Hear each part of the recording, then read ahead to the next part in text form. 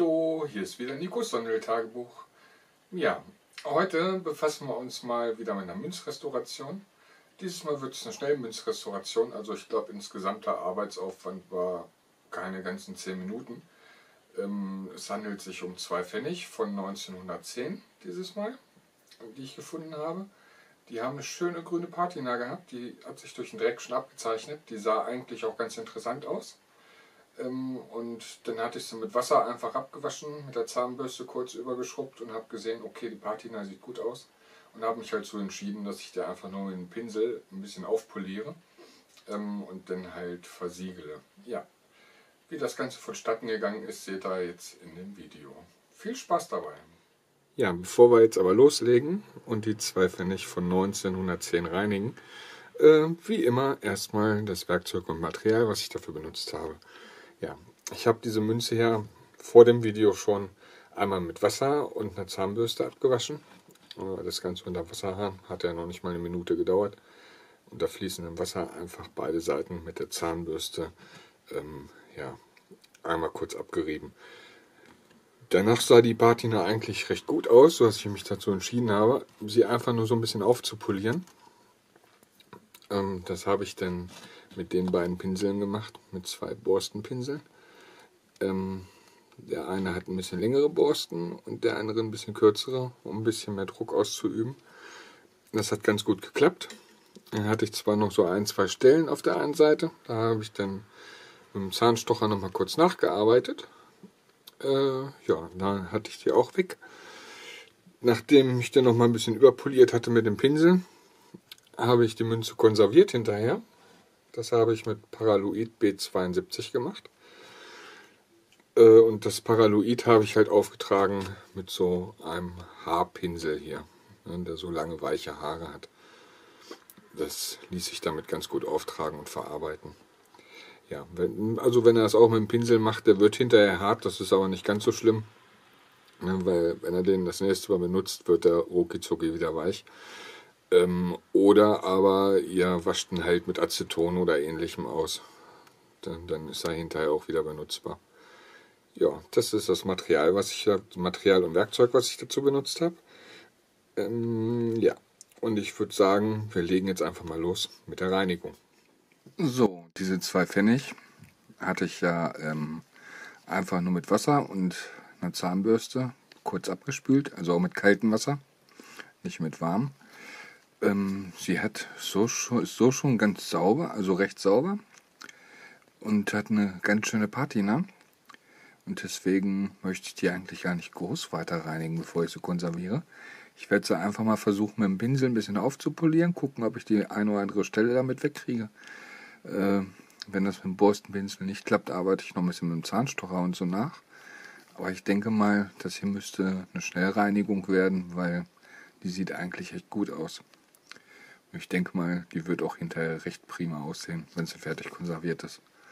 Ja, dann spanne ich mir die jetzt mal in den Münzschraubstock und dann fange ich erstmal an mit dem Borstenpinsel so ein bisschen überzupolieren. Ich glaube, ich fange auch mit der Seite hier gleich an. Ja, los geht's.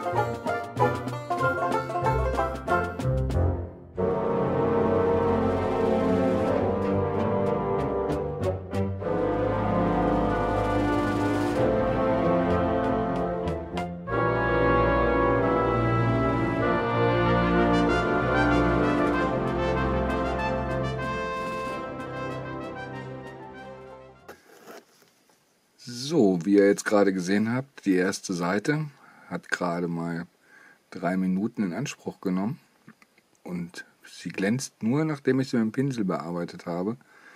Äh, ja, als wenn sie schon versiegelt ist, beziehungsweise konserviert ist. das, wie gesagt, das ist jetzt echt nur das gewesen, was ihr eben gesehen habt. Ich habe es halt vorher nur mit kaltem Wasser abgespült, kurz mit der Zahnbürste abgebürstet. Das war keine Minute Arbeit. Ähm, und damit jetzt dann eben mit dem Borstenpinsel poliert. Ja, jetzt mache ich die zweite Seite auch noch. Ich hoffe, die wird dann genauso aussehen. Ja, und dann werde ich sie mit Paraloid B72 konservieren. Damit, mit dem Mittel hier. Ups.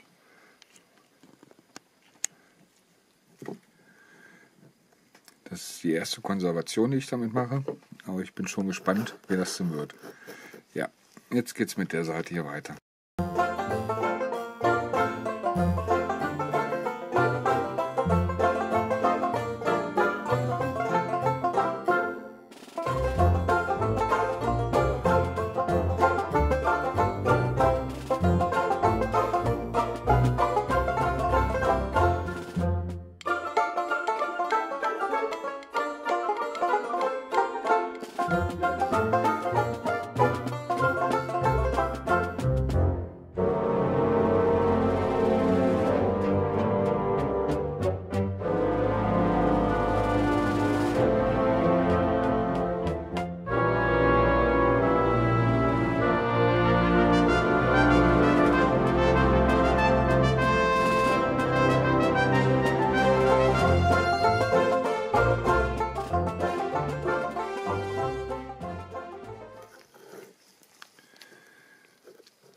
So, ich habe jetzt nicht auf die Uhr geguckt, aber ich glaube, das waren auch nur drei bis vier Minuten eben.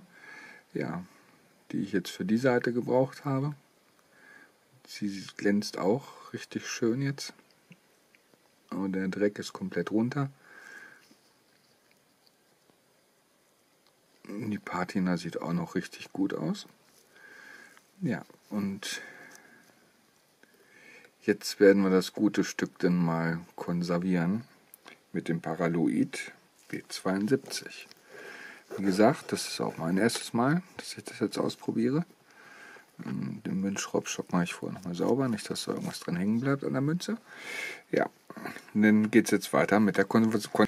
So, wir kommen jetzt zur Konservierung mit dem Paraloid B72. Ähm, das trage ich mit so einem Pinsel hier auf. Ich denke mal, das wird gehen. Ja, ich bin gespannt. Wir machen jetzt erstmal die erste Seite, lassen die dann trocknen und dann machen wir die zweite Seite. Ich denke mal, das müsste schnell, recht schnell abtrocknen, da da Aceton drin ist und das ja verdunstet. Müsste das recht fix gehen. Ich bin gespannt, wie das Endergebnis ist. Angeblich soll es die Patina nicht verfärben. Und dann tragen wir es jetzt schön vorsichtig auf. Äh, ich sehe da aber doch schon so leichte Verfärbung, gerade ins Dunkle. Aber vielleicht gehen die da wieder weg.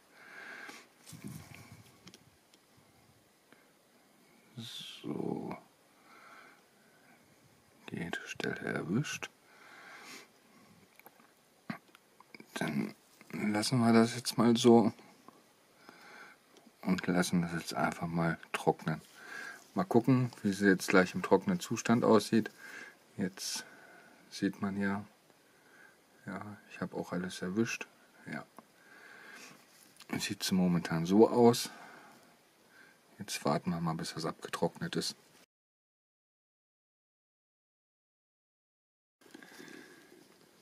So, das Paraloid B72 ist jetzt getrocknet. Die Münze hat ihre originale Farbe wieder. Und sie glänzt auch noch schön. Ja, und sie ist jetzt von der ersten Seite versiegelt. Jetzt drehen wir so um und machen dasselbe noch mit der anderen Seite. Und dann ist sie fertig konserviert. Ja, aber ich muss sagen, ich finde das Paraloid B72 bis jetzt gar nicht mal so schlecht, weil mit dem Wachs hat man ja immer eine Farbveränderung der Patina gehabt. Das haben wir hiermit ja jetzt nicht.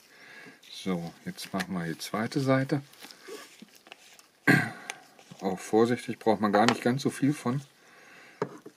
Ähm, das ist recht ergiebig. Da braucht man echt so, so einen kleinen Tropfen am Pinsel und kann bald die halbe Münze damit machen.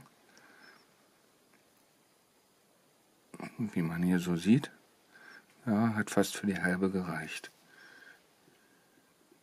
Nochmal eintauchen.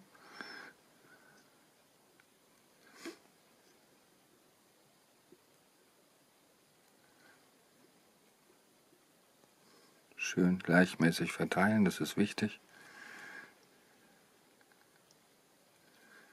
So, und jetzt beginnt auch schon der Trocknungsprozess, man merkt schon. Durch das Aceton da drin geht das recht schnell. Ja, ich glaube, ich habe alles erwischt. Ja, jetzt lassen wir auch diese Seite trocknen. Wenn sie dann gleich komplett durchgetrocknet ist, zeige ich sie euch nochmal. Jetzt hat sie leicht dunkle Verfärbungen halt gekriegt durch die Feuchtigkeit, aber das geht gleich wieder weg. Ich melde mich gleich wieder, sobald sie fertig durchgetrocknet ist. So, das ist jetzt die Münze, nachdem sie fertig gereinigt ist und mit Paraloid B72, dem Schutzlack, ähm, konserviert wurde. Ja, die schöne grüne Patina ist erhalten geblieben. Ich finde, sie sieht sehr gut aus. Die Münze ist wirklich richtig sauber, wie man sieht. Also es ist echt kein Dreck mehr, der drauf sitzt. Es ist echt Patina. Und das Ganze auch von beiden Seiten. Ja, und durch den Schutzlack hat sie halt noch einen sehr schönen Glanz gekriegt. Aber ich muss sagen, das Ergebnis kann sich sehen lassen.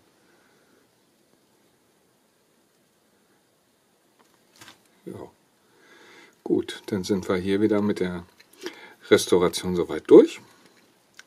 Ähm, ich hoffe, das Video hat euch gefallen und ihr lasst einen Daumen nach oben da und auch ein Abo, wenn ihr weiteres von mir sehen wollt. Ja, in diesem Sinne wünsche ich euch noch einen schönen Tag und allzeit gut Fund. Ja, wir sehen uns spätestens im nächsten Video wieder. Bis dann, bye bye.